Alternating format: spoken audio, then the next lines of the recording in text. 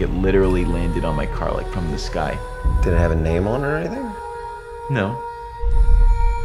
This book is destined for you. this book is your salvation.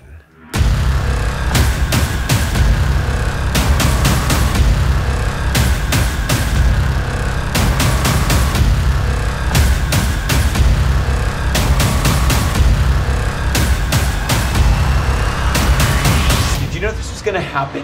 No, I What about the ritual? What about the book?